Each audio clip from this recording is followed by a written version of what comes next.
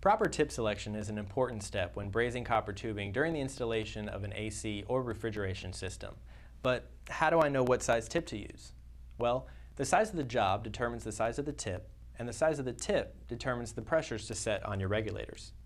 Now if you're using a tip that's too small for the job, you won't be able to bring your copper tubing up to the target temperature needed.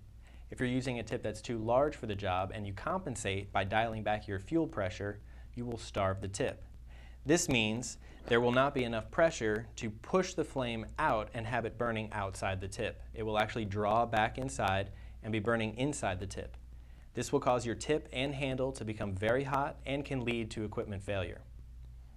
To find the proper tip size for a job, reference Uniweld's HVAC catalog tip chart.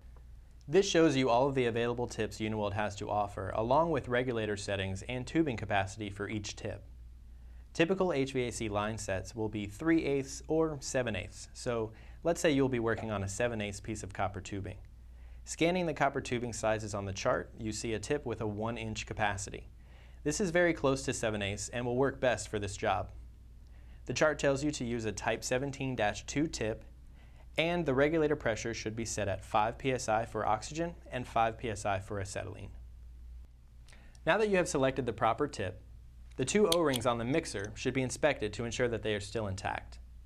Now if these O-rings need to be replaced, they're available at your local HVAC distributor under part number TXRK. And this kit comes with 10 O-rings, 5 of each size, and you simply slide off the old O-rings and slide the new ones on. And once you've inspected these O-rings and ensured that they're intact, you can attach that to your handle. Now because Uniweld's oxyacetylene tips have that double O-ring seal, these should only be hand tightened onto the handle. Do not wrench tighten these tips down as it will crush the O-rings and the oxygen and acetylene will not mix properly. Next we will set the pressures on our regulators. Now the chart told us that our oxygen and acetylene pressure should be set at 5 and 5. However, the 12-foot hose that is connected will cause a pressure drop of about 2 psi. Therefore, we'll set the pressures on oxygen and acetylene at 7 and 7. Once you have your tip connected to your handle and your regulators set at the proper pressures, now you're ready to light your torch. Thanks for watching.